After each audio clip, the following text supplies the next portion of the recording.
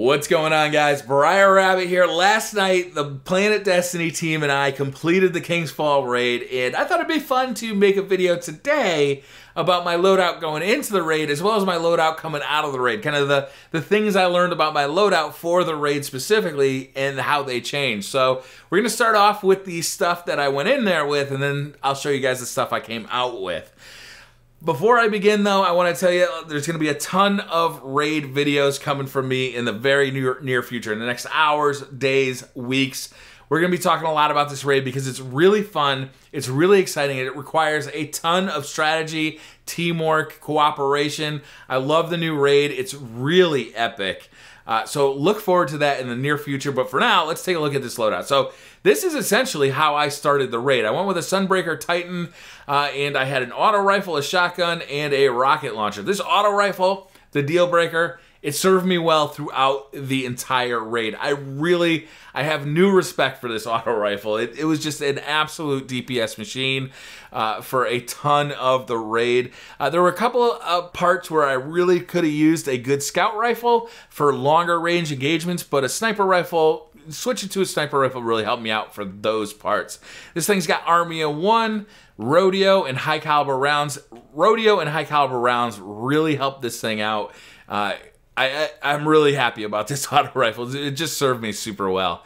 Uh, next, the Shotgun Conspiracy Theory D. This is a reward for completing a quest in the story. It's got rangefinder, lightweight, and performance bonus. Didn't use this much. By the end of the raid, I had pretty much switched to this fusion rifle, this Telesto fusion rifle. This thing does massive, massive DPS. It shoots a basic fusion rifle shot, but those fusion rifle bullets, if you will, stick to your enemy and then blow up for a second round of way more intense damage.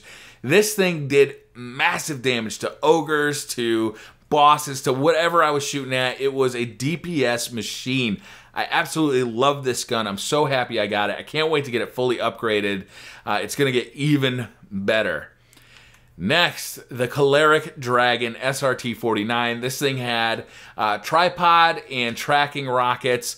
Didn't use it much. I'll be honest with you. Uh, there weren't a whole lot of opportunities to just sit there and DPS something with a rocket launcher. What came in way more handy was this machine gun.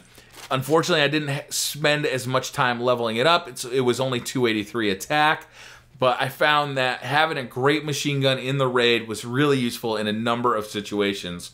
The sword, again, didn't use it that much. There were a couple of opportunities, especially right at the end of the raid, where it's definitely nice to have at least one guy in your raid team that has a sword.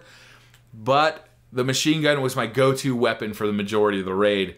Uh, as far as armor goes, I had basically just a regular helmet at 290 defense. It wasn't too special. I liked that it had super energy from non-guardian kills and bonus grenade energy, uh, but uh, nothing too special here. The immolation fists, however, uh, because I was a Sunbreaker, these things came in handy quite a bit. They give me increased intellect, help me earn that super a little bit quicker. Rain blows increase melee attack speed.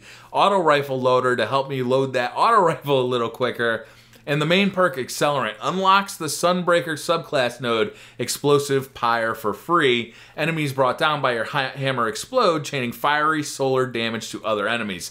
It just allowed me to take out mobs super fast, uh, and it became made the Sunbreaker really great at creating orbs and at uh, taking out mobs. So it was it was really it was nice that I had that exotic sitting there waiting for me.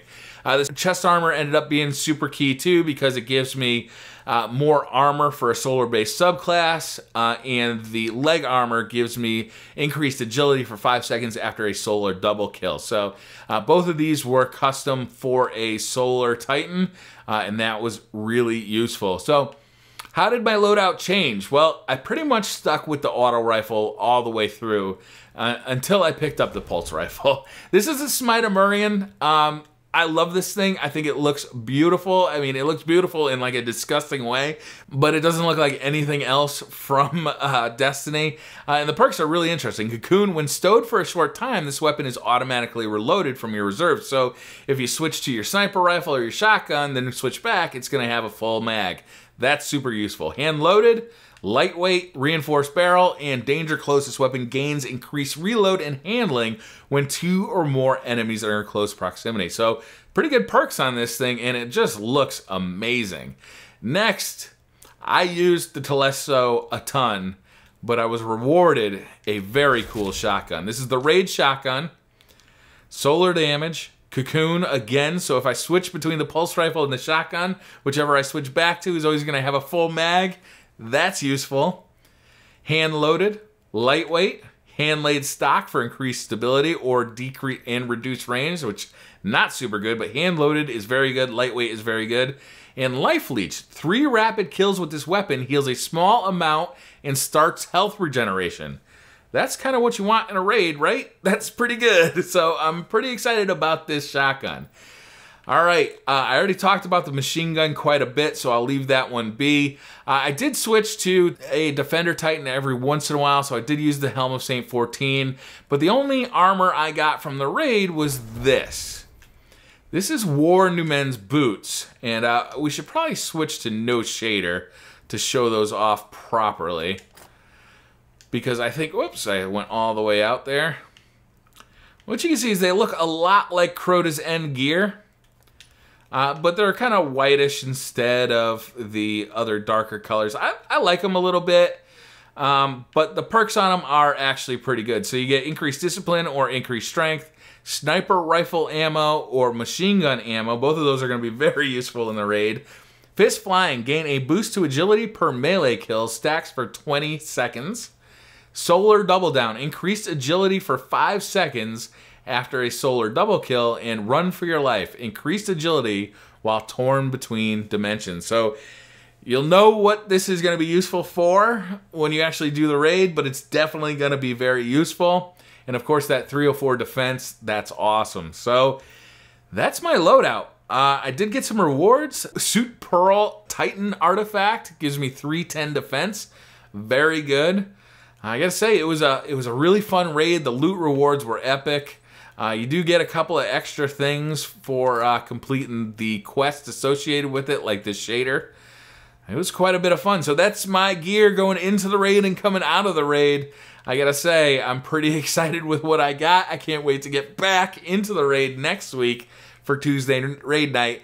Let me know what you guys got. Have you completed the raid yet? What'd you get from the raid? What kind of loot did you get? And are you happy with it? Thanks for watching, guys. Hit that like button if you like the video. Hit subscribe if you're new to the channel. And I'll see you guys next time.